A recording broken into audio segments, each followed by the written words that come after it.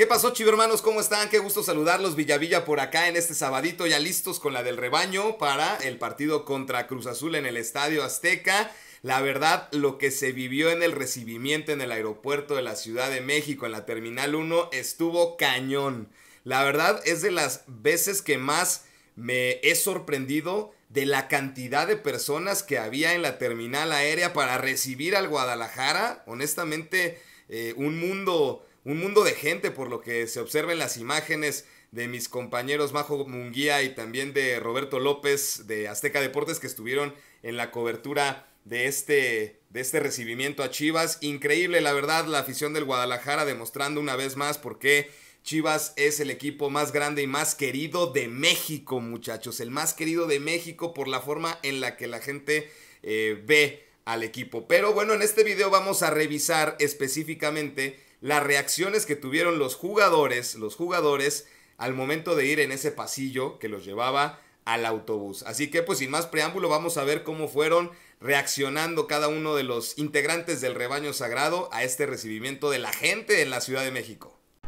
Bueno, pues entonces vamos a revisar las reacciones que tuvieron los integrantes de Chivas con este recibimiento en la capital del país. Poco a poco fueron saliendo los integrantes. Ahí tenemos al entrenador, a Fernando Gago, que tendrá su primera visita al Estadio Azteca entre la gente, los elementos de seguridad de Chivas, pues iban llevándolos por este pasillo que organizó eh, la propia barra, los que estaban ahí del grupo de animación para que los jugadores puedan ir saliendo. JJ Macías de los primeros en, salir. Evidentemente ya sabe lo que representa esto. Ricardo Marín, JJ que está de regreso, a ver si puede tener algunos minutos. Eh, saludando, sonriendo a la, a la, gente. Después llegaría, ahí está Colochini, por ejemplo, del cuerpo técnico de Chivas. Y poco a poco comenzaron a, avanzar los elementos del Guadalajara. El Guti, Eric Gutiérrez. La gente trataba, obviamente, de tener una firma, una foto, pero pues es complicadísimo que se puedan detener ahí porque se podría armar un tumulto y eso resulta riesgoso. Entonces, pues poco a poco van avanzando, ¿no? El hecho de que ellos vean los jugadores cómo la gente lo recibe. Ahí tenemos al Piojo Alvarado que también pues lo quieren detener para la firma, para el autógrafo, pero evidentemente con que ellos observen y vean y, que la afición vea que ellos también salen, ¿no?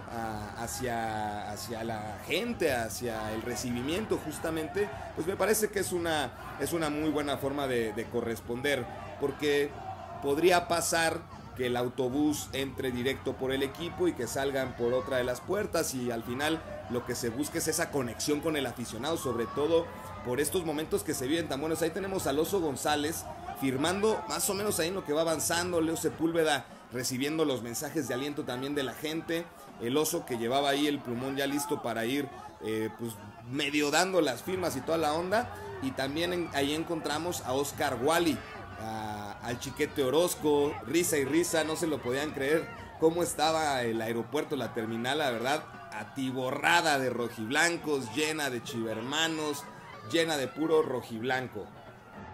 Y así continuaba la salida de los jugadores, por ahí pasaba el Chapito Sánchez, ¿qué tal Fer Yacardi de Chivas TV, la sonrisa más cara de Verde Valle también? Entre la gente, toda la comitiva de, de Chivas que hace el viaje, elementos de staff. Y ahí venía el pollo briseño grabando con, con el celular. También quería tener imágenes de cómo estaba el recibimiento, de los más animados, el pollo briseño ahí medio pasaba, un niño que, lo abrazaba, el, pollo que pues es de los que más eh, conexión tiene con el aficionado, ¿no? Siento que es de los eh, que, la gente se identifica con él. Y bueno, pues ahí estaba también el pollo briseño yendo rumbo al autobús. Teníamos ahí a Fernando Beltrán, al nene Beltrán, que se acerca a la gente, que lo quiere abrazar, que le piden el autógrafo, las fotos, el de los canteranos que ya sabe lo que, lo que es, lo que es, es un recibimiento de este tipo, ¿no? Lo que representa Chivas, ya tiene un rato en el primer equipo, es de los referentes, de los titulares, ojalá que, que ya llegue por fin un eh, campeonato para el Guadalajara y ahí tenemos la llegada de Alan Mozo, le quisieron quitar su gorra, eso no se hace muchachos, hay que tener respeto también por los jugadores que están saliendo ahí a convivir con la gente. ¿Qué tal Mateo Chávez? Feliz porque eh, la sonrisa se nota, ¿no? Ahí de Mateo Chávez que es de las primeras experiencias que le toca vivir con el primer equipo, así que ahí estaba eh, Mateo, y lo que se vivía con, con Kate Cowell también, de otro, de otro planeta, ¿no? Todo lo que ha generado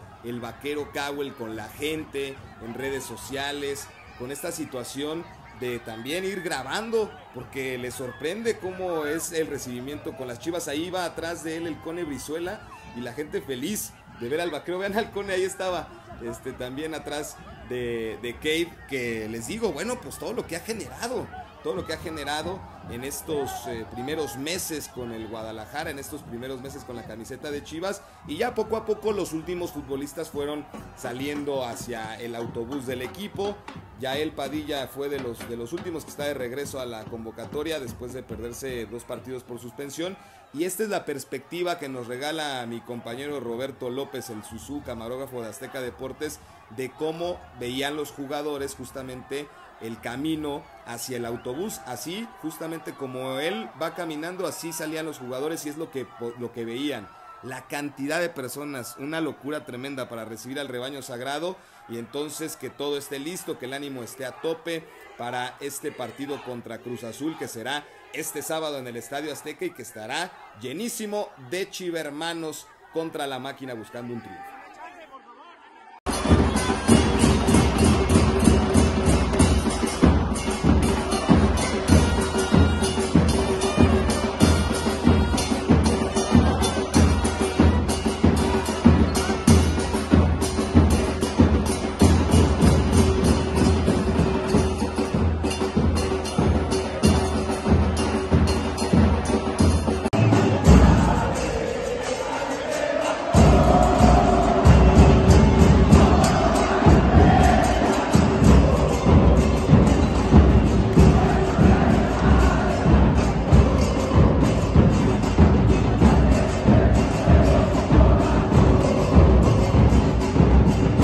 Pues ahí lo tienen, todo está listo entonces para que este sábado Chivas se enfrente a Cruz Azul a las 7 de la noche en el Estadio Azteca. La máquina anunció boletos agotados ayer por la noche, boletos agotados para el partido.